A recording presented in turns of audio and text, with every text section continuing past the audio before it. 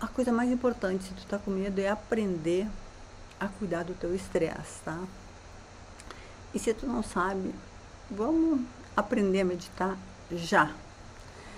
A meditação foi assim, ó, a grande mudança da minha vida. Porque com a meditação, primeiro eu comecei com a respiração, eu acho que se não sabe meditar, começa com a respiração consciente.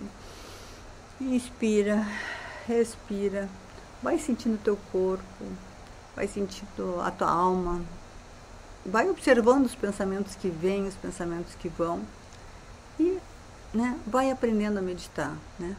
Porque a meditação, isso é comprovado cientificamente, né?